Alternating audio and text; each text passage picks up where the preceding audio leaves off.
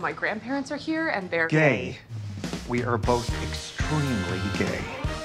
Do you know what a beard is? Yes. We were that.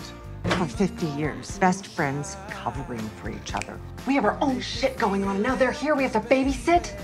You're on that track. I'm still on the granddad like stick track. It's all of it, dude. We just thought that maybe you could help us to feel a little bit more like ourselves. There's no right time to come out. Know that you belong.